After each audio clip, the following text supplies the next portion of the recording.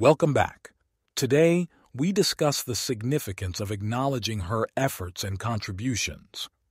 Recognize and appreciate her hard work and dedication in all aspects of life. Express gratitude for her support and the positive impact she has on your life. Acknowledging her contributions boosts her confidence and strengthens your bond. Show that you see and value her efforts. It creates a positive and validating relationship. The power of acknowledging efforts and contributions.